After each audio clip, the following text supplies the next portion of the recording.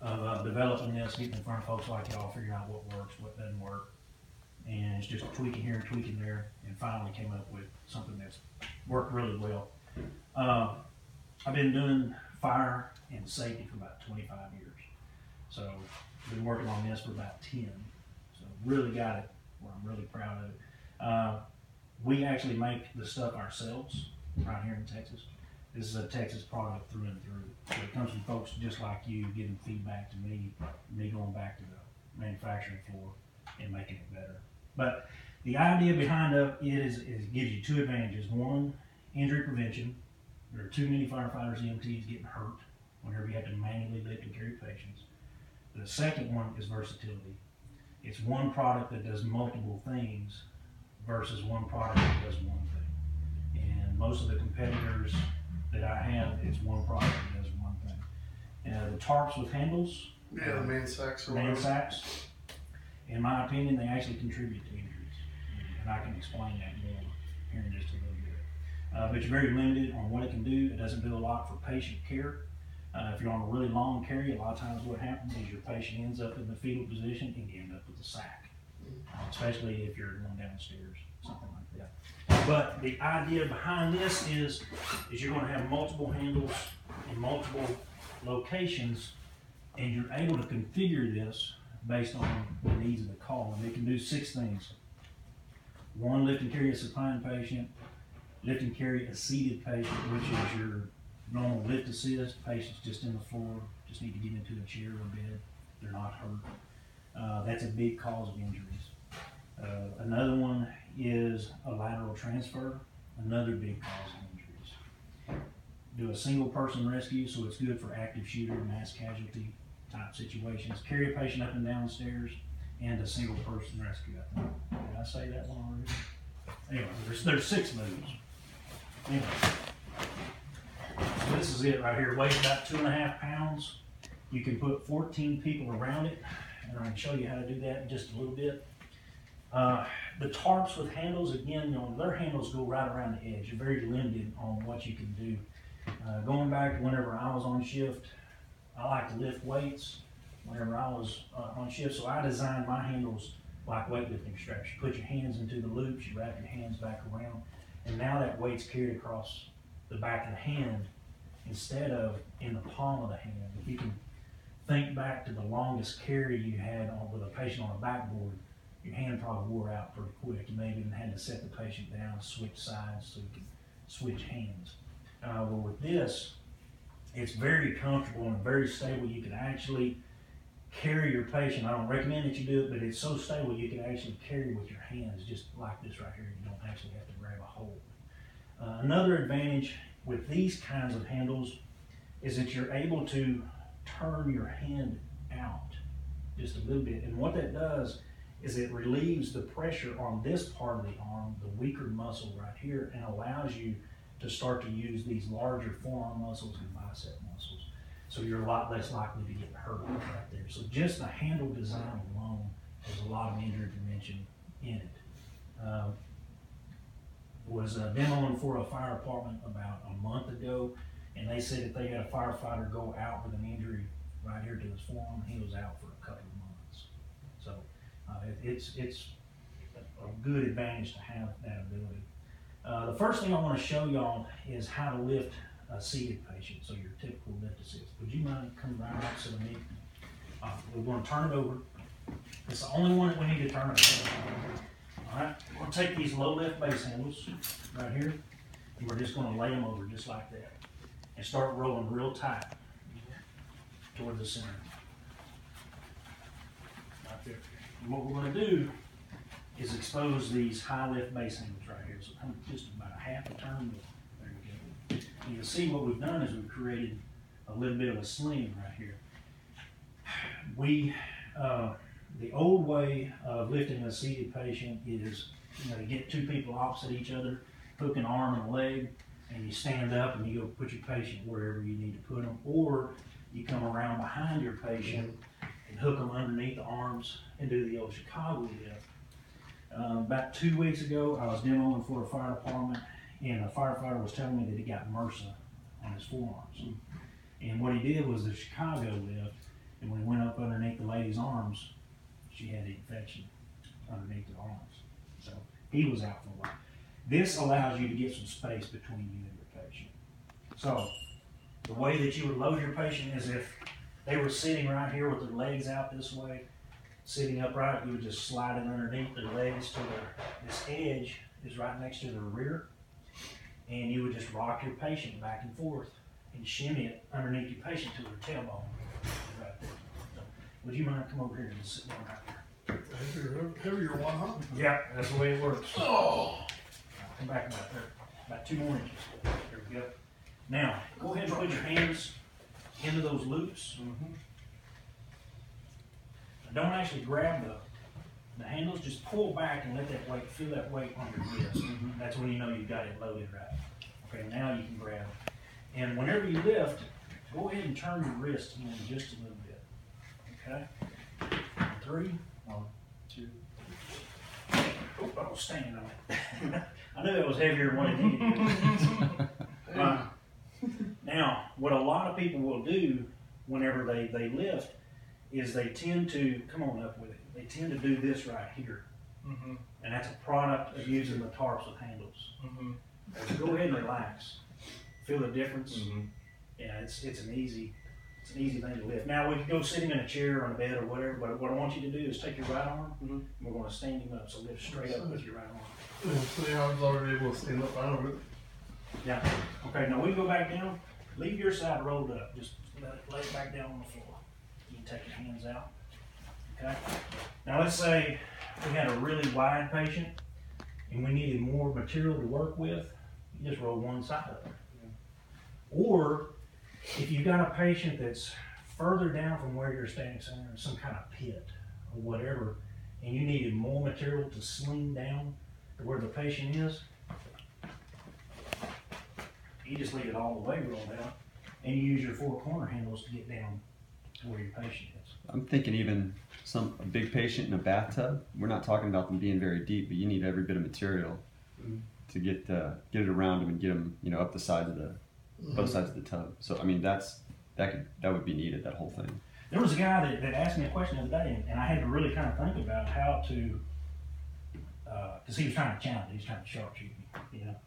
And we, but it was a good, valid question. He said, "What if I have a patient who's really large uh, in a bathtub, and I've got to get them up out of there? How am I going to get them up?" And I, I thought about it for a minute, and what I came up with is you fold this thing in half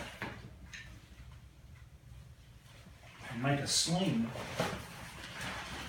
out of it. Put this around behind your patient as they're laying down in the bathtub and lift them up into the seated position. And then you can figure that what we just did in a seated position, you stand them up and you go get them in the hallway or whatever. And you reconfigure them and carry them whatever position you want to carry them. Now, uh, what I want to show, actually it'll work better if we have about two, two more sets of hands. Godfrey, come in here, sir. I'm gonna show you how to lift and Call carry your brother a, William, tell him to a come in here. supine quick. patient.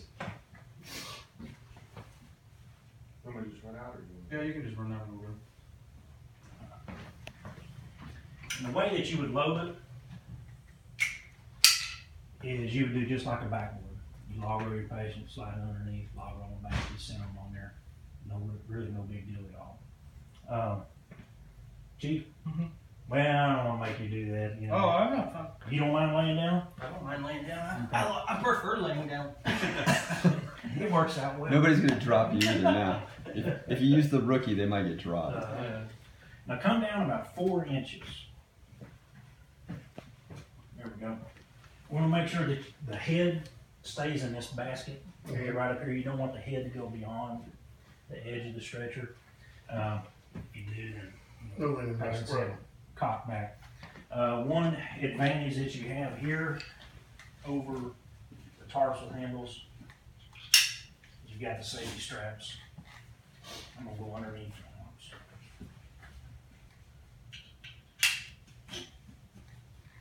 Right there.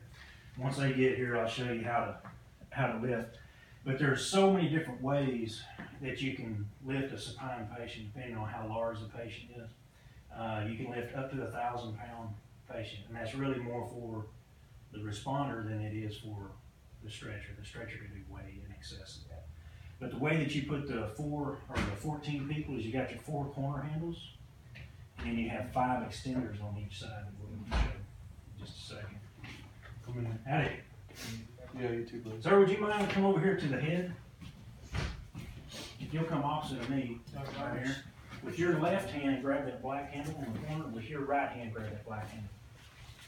So, as he was saying, put your hands through it. Yeah, put your hands into the loop. There you go. Now, don't actually There you go. grab it, That's it. Yeah. Pull back and let it, feel that weight on the back of your wrist. Okay, that's when you know you've got it loaded right. Now, you and I, we're gonna mm-hmm. grab those same two handles that we just used, those base handles. Right. Excuse me, sir. Mm-hmm, mm-hmm, all right, uh, now when you get in that good lifting position, I mean, you and I are gonna carry all the weight. Okay. At the head, go ahead and call it. Three, two, one. Yeah, you're not gonna feel like you're lifting hardly anything. And y'all probably don't feel like you have I should be on the head anything. You AC, man, you then. heard That's it. right. That's right, man, you didn't get there with these done.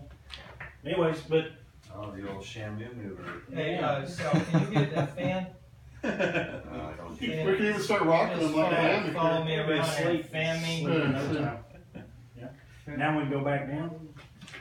Just better So get that's them one way to lift. If you have a more narrow patient, that's probably most appropriate. But we're gonna slide up about two feet and y'all gonna come over here. Now what we're gonna do is deploy these extenders right underneath his shoulder. There's a tab, leave that one there. Do the one underneath the knee and the one underneath his ankle. Oh. Now you and I, Uh-huh. just to show you the difference here, you and I are gonna grab this black handle on this side. And then the yellow handle here. All right. Y'all Same grab the thing. black handle closest to the foot. These are my out. No, you're out. You, yeah, we, you got it from here. This one here? Yep. No, no, the, uh, right Yeah, right to the on the velvet. extender. And I grab the yellow handle right there. Now, what this is gonna do is help us keep the patient level. Mhm. Now, also, you're a lot taller than what I am. If you were opposite of me, I may wanna grab these black handles and you may wanna grab the yellow handles, just to keep the patient level. Right.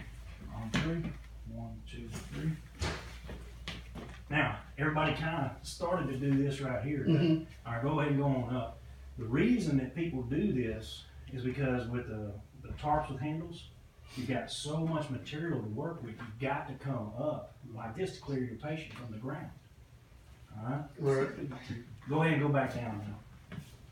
You'll feel the relief in your shoulders. Oh, yeah. It's instant. You feel like you could carry me around like this all day All long? day. All Okay. day, every day. Well, Now we go any back one down. of these. And it, what you can do is if you had a larger patient, you could actually deploy these center Mhm. extenders, middle extenders, and put two more responders there to help carry that load. Just like you and I had most of the weight Right. when we were here in the middle, it just relieves some stress on these guys.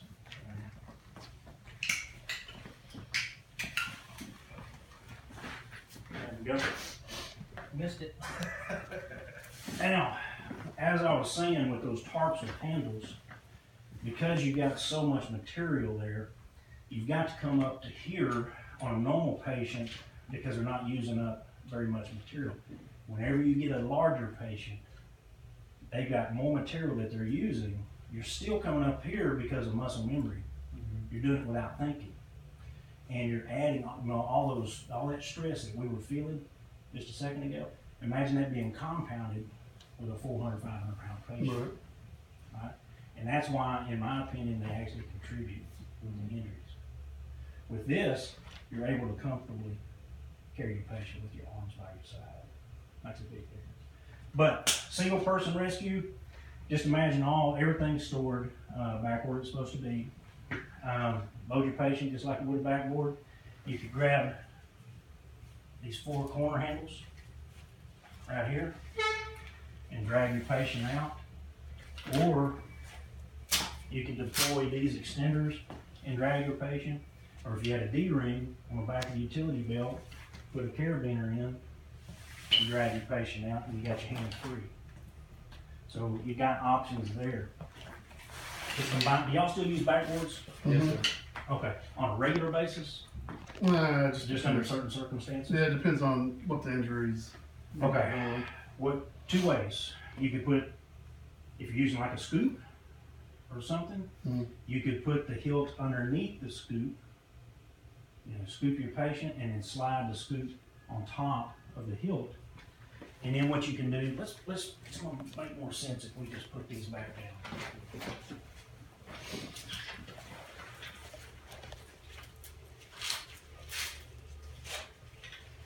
There you go, that's all.